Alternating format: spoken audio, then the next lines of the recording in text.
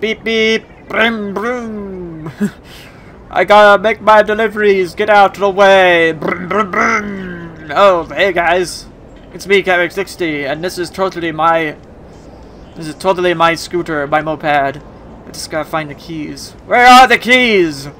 Oh, dang. My keys are back at home. I don't have pockets in these pants. But anyway, let's get on with the video. And you know, you know, I don't understand Splatoon's roads. Like, why why do we have a road here that goes nowhere? Like, we just have these squares with roads, but the roads never lead anywhere. It's just roads for the sake of being roads. I mean, clearly Inklings know how to build roads because of these things down here.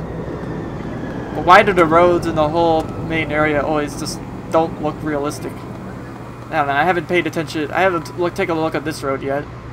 Yeah, even this road, it leads nowhere. This is this is a dysfunctional road. Who built these? The jellyfish? The Inklings? I wouldn't be surprised if it was the Inklings because the Inklings would be be because the Inklings are depicted as being stupid.